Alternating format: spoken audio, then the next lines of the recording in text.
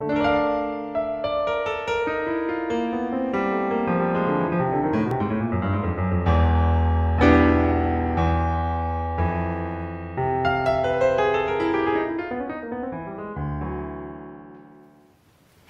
singers! Today we are going to read O del mio dolce ardor as if we were speaking Italian. Okay, let's try with uh, first O. O. This is an open O. O. It's a surprise O. O.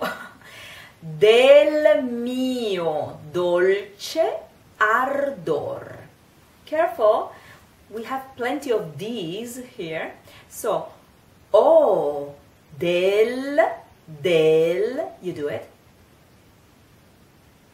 Mio, dolce. This word means sweet. Dolce, dolce, dolce. Okay, this is a, a we have two C's in Italian. One is k, k, k. The other one is ch, ch, ch. In this case, this C in the middle of the word dolce is, uh, sounds ch, ch, ch, dol, che. So be careful with the D, first of all. It's not a D, D, it's a D, D, D, D, D. Dolce. Closed E. Dolce. All right. O del mio dolce ardor. Here we have the Italian A, A, A, wide open, A. The one and only sound of the A in Italian is A, A, A. Like just, A, A. Ar, let's practice the R. R, r, r. Wow, that's easy because when you say R, you already say the A, the A, sorry, that is perfect for ardor, ardor, ardor. All right, so we just use this. But careful, you don't have to say ardor, ardor. That's ardor, ardor. If it is too hard to pronounce all the consonants uh, at once, just breathe between the syllables. Ar, door. Do it again. Ar, door. Okay, we have a, a sounding R at the end of the word. Careful, we cannot uh, erase consonants or letters at the end of a sentence or of a verse, of course, or of a word, because it makes the meaning impossible to be to be to be understood. So let's pronounce properly. So, oh, this is the surprise. Oh, oh, oh, del mio dolce ardor, bramato oggetto, bramato oggetto, L'aura che tu respiri al fin respiro. This is the all sentence, and this is the way it should be read. Okay, so let's try it. Um, so we were saying, oh, del mio dolce ardor. Articulate, okay? Articulate. Del mio dolce ardor bramato bramato bra ma ma bramato careful with the t. It's not bramata it's bramato okay.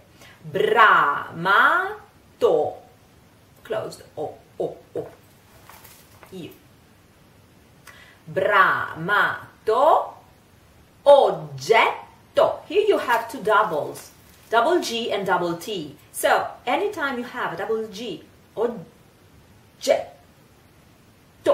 This is quite, you know, um, because you have to wait. You cannot pronounce it right away. oggetto. Oggetto, it's not right. So you have to wait.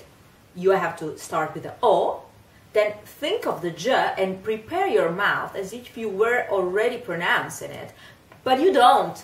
So you just keep it uh, keep it here, waiting. O, jet,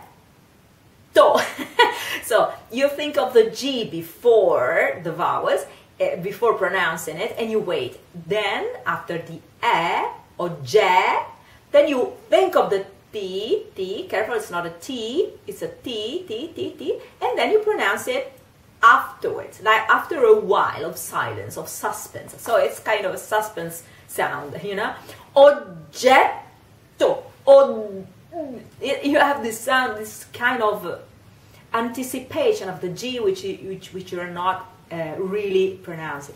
So, oggetto, oggetto, oggetto, to. To. So, the old word sounds like this. Oggetto. You try. Again. Oggetto. You try. So, the funny thing now is that we have to pronounce bramato oggetto.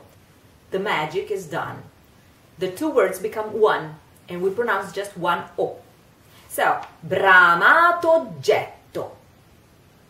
This is the spoken language, okay? Bramato oggetto. You do it. Bramato oggetto. Bramato oggetto. Just feel the rhythm. Bramato oggetto. Okay, bramato oggetto. With me. Okay. Laura, che tu respiri. So many R's here. Ready? Laura. This is not Laura. This is not uh, the A and the U are not together. They not sound like O, like O. They are pronounced letter by letter. So the aura, the aura. So the L is the the the article the. So Laura. Even the name Laura in Italian we pronounce it Laura. Okay, with the U, U, the same old monkey sound. U, U, U. Laura.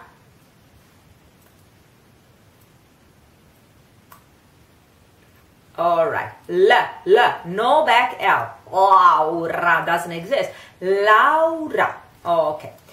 Che, che, CH has this sound in Italian. C-H-E is che, che, che. So we say it. Che, che, che, che. Tu, you, tu. Careful with the T. Don't say tu, tu. It's not like, it's not that. Tu in Italian sounds like a, um, the T, when it is used um, your way, when you speak Italian, sounds many times like a C for us. So it can change the meaning of the word. So be careful because it's uh, hard to understand. Hmm? Laura, che tu respiri. Res. No, it's not res. Respiri or, or other. Respiri. So it's quite uh, quite complicated for the tongue to do all this work because we have Laura che tu. So here we have to do it slight a little bit, just a little bit. It's not. So we are working a lot with the tongue in order to pronounce the R's, but we have to be careful when we do the T. So Laura che tu respiri. Okay, try. Laura che tu respiri. Ok.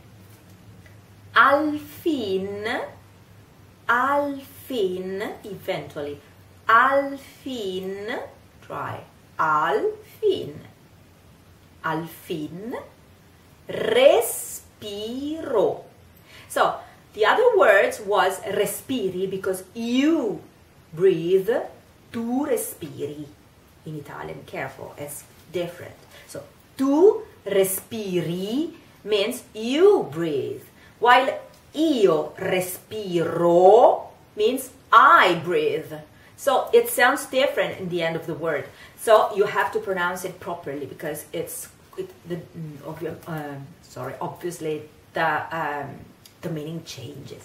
So Laura che tu respiri al fin respiro. Again. Oh del mio dolce ardor io bramato oggetto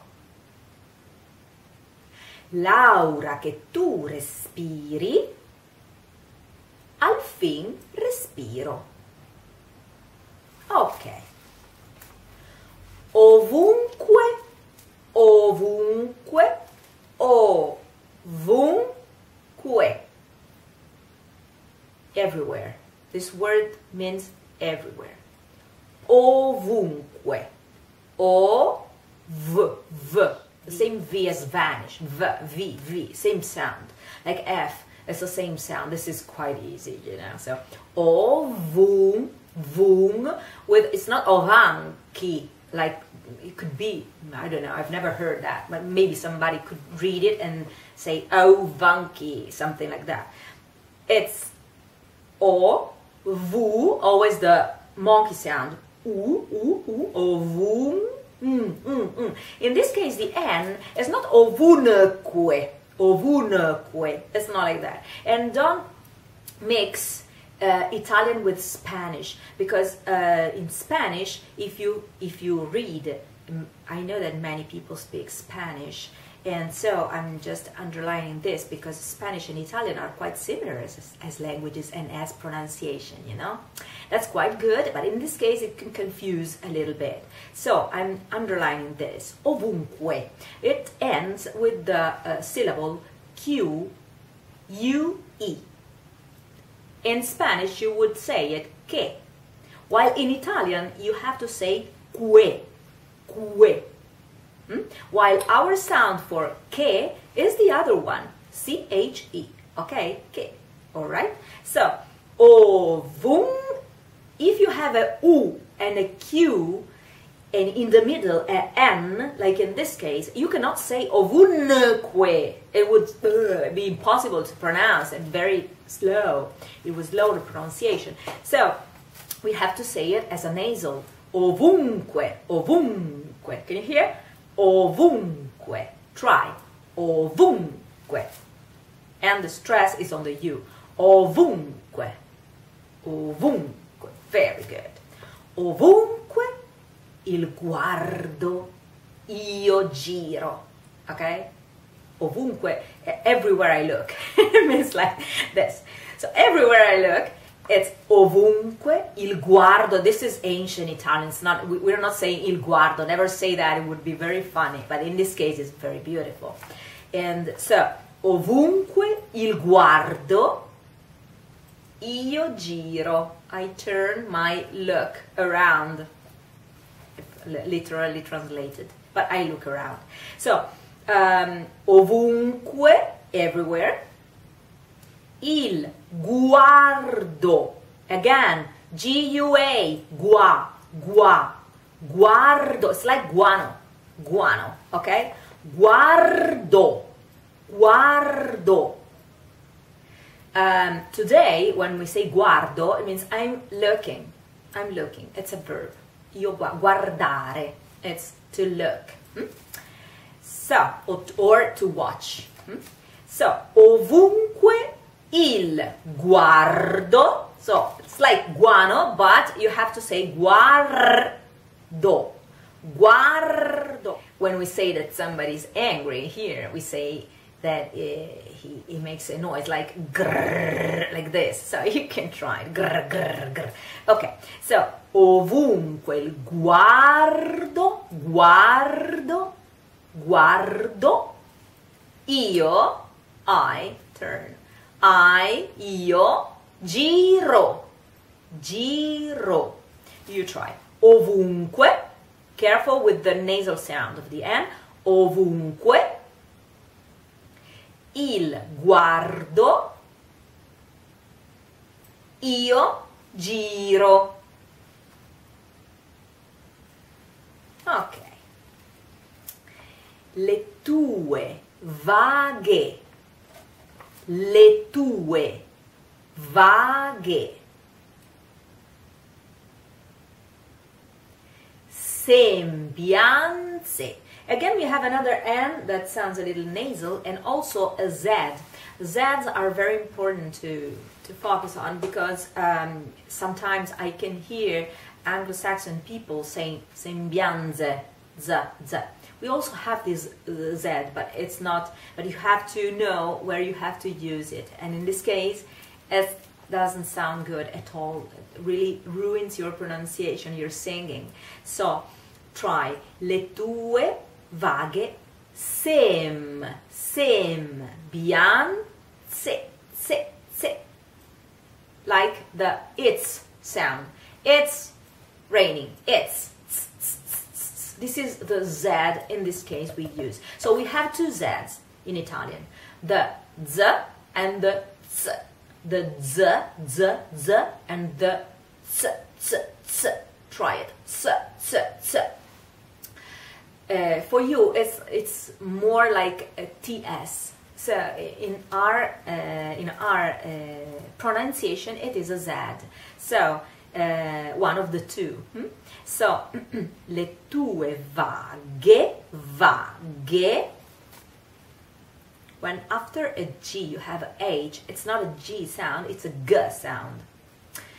Le tue, le tue, careful with the T, T, T, le, le tue, le tue, le tue, vaghe, vaghe. Let's try sembianze, okay? Sem, it's not zem, it's s, s, s. Sem, bian. In this case, we can you can hear the n, bian. Hmm, hmm, hmm, it's just pronounced just a little bit. It's kind of a nasal, very fast sound. Sem, bian, se. Let's try. Sem, bian, se. Again. Sem, bian, se. Okay, let's do it. Oh, let's do all the old sentence. Le tue vaghe sembianze. Le tue vaghe sembianze. I always say I, uh, that when you have to articulate fluently, you work on the vowels. But when you have to make yourself understood, you have to work on the consonants. Le tue vaghe sembianze, amore in me dipinge. Il mio pensier si finge le più liete speranze. Be careful, here we have again spe, ran, se. It's not speranze. So be careful because here again we have a word that is speranze. And um, in Italian we have words that sound with that with the z, the final z that is z, z, like ro, romanza, the romanza. Or the novel in Italian is romanzo, romanzo. But words like sembianze and speranze end with z, z, z, okay? So, amore me dipinge. So the, the, the whole sentence is ovunque il guardo io giro, you, le tue vaghe sembianze, amore in me dipinge. Il mio pensier si finge. This is a rhyme, makes it quite easy for the pronunciation. Il mio pensier, il mio pensier, again an N that is quite nasal and very short. Pensier, pensier. The, il pensiero in Italian is the thought. So, il mio pensier si finge, finge, le più, più, più. This is more. The word più is more. Don't say it più because uh, this is the this is the sound of a chick. Più, più, più, più, più, più, più. So you have to say le più. Have you also have this, the the um, the graphics stress so you can do it easily, but in any case, even some Italians um, pronounce it più because the e is more for somebody is easier than the u, and so they say più, but it sounds pretty bad. So you have to. It, it's funny, you know. So le più, try. Le più, le più. Liete, le più. Liete, liete, liete. Please le più liete speranze. Try. Speranze. So, le più liete speranze. You will hear this word liete is uh, very often also pronounced liete, liete, because a lot of singers uh, that are from the north of Italy, they pronounce it with the e, e, with an e like this. So the, the correct pronunciation should be liete, but I'm, I'm one of those who pronounce it liete. You will hear it often, so don't feel surprised. Le più liete speranze e nel desio. Here we have two s that are pronounced s that are pronounced z z z. So in this case S is pronounced like a Z. E nel desio, desio is like desire. This the word is the same, same root of the word. Desio, desire, desio. E nel desio, che così, che così. Another S that sounds Z. Careful. E nel desio, che così Mempie. Careful, here you have, we have two M, very close. Mem, mem, it's like memory, memory. Me, but not like memory because mem, you have a, an open E. Mm. Me, mem, mem, meme. It's like meme. Mem, mem, mem, mempie, mempie. It fills, it fills my chest. So, uh, Mempie, mempie. Mempie il petto. Mempie il petto. Remember the double T? Again we have it. Petto, the, sus the suspense sound, you know? So, e nel desio che così mempie il petto cerco, in, cerco te. Here we have the two C. In Italian, we, we can pronounce a C, ch or k. And here, in the word cerco, the verb cercare means to look for. Um, cer, cerco te, I'm looking for you. And uh, we have cerco, cerco. Try. Cerco, cerco te, cerco te chiamo te, I call you, chiamo te, spero, I hope, spero, e sospiro, try, sospiro, I sigh. Hmm? So, cerco te, chiamo te, spero e sospiro. Sospiro. Don't cut the O, the final O. Sospiro. Same O. Sospiro. Okay? Um, spero is another word like lieto. It's very uh, common to hear it pronounced spero. Spero, spero. Spero is the right pronunciation, the correct um, diction.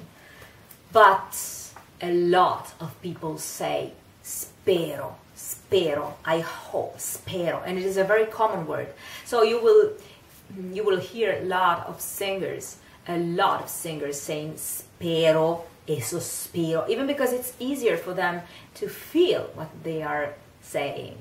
So I think that in in certain uh, certain words are pronounced mm, correct uh, because they sound be better when you sing. But others, they come from the, the, the spoken pronunciation. And so, in a way, you could choose the one you like most because uh, you are free to choose in this case.